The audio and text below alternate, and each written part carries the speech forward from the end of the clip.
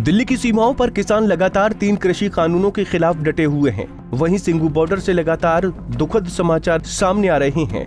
आज फिर एक युवा किसान ने सिंगू बॉर्डर पर दम तोड़ दिया। बताया जा रहा है कि युवा किसान हरेंद्र सिंह करनाल के असंध का रहने वाला था और हृदयघात की वजह से उसकी मौत हुई। इसका नाम भाई का हरिंदर सिंह था। करनाल ज़िले के हल्का संद गाँव ठरी का रहने वाला था और सिर्फ़ बत्तीस साल उम्र थी इसकी। और इससे कुछ समय पहले इसकी पत्नी की भी बीमारी से मौत हो चुकी है और एक सात साल का घर में बच्चा है, लड़का है। और घर बिल्कुल अब लड़का खिला रह गया, पहले माँ का साया उठ गया, पिता का। और लंबे समय से जब से आंदोलन चल रहा है, लगातार इस आंदोलन का हिस्सा था।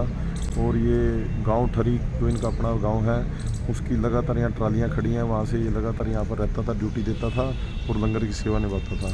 कल भी के जब जाम किया, ये वहाँ पर था और रात को इसकी, सुबह इसकी डेथ हुई, मिली है। कैसे हुई है इसकी डेथ?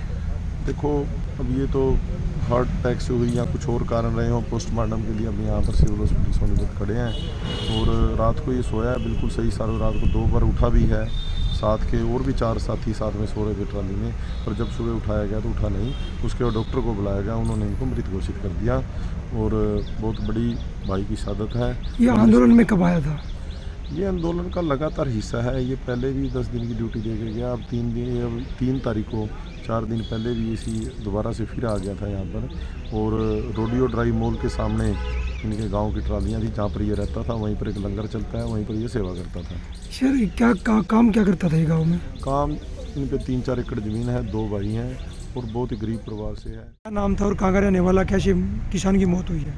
ये भैया किसान आंदोलन में धरने में शामिल होने गया था जिसका नाम था रिंदर। ये थाना असम जिला करनाल का रहने वाला था। और तीन तारीख को धरने में आया था।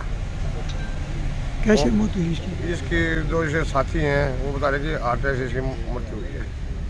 लेकिन फिर भी हम सरकारी फौजी सोनीपत में इसका पोस्टमार्टम करवा रहे हैं। ये कहाँ पे हुआ? सिंगो बॉर्डर पे? ये सिंगो बॉर्डर पे निवास है ये किसान आंदोलन में रेडियो माल है टी डी ए कुंडली बादरकपा गाँव रसोई का। उसकी पार्किंग में ट्रैक्टर ट्रेलियाँ खड़ी थी और ये ट्रेली में सो रहा था। सोते सोते इसका हार्ट अटैक हुआ है बता रहे हैं। परिवार में कौन कौन क्या करता था कुछ पता चला हो? परिवार में खेती बाड़ी करता था इसके दो भाई हैं ये छोटा था एक लड़का इसका करीब ढाई तीन साल का। कार्रवाई पुलिस कार्रवाई कर रही है? पुलिस कार्रवाई कर रही है पोस्टमार्टम करवा रही है।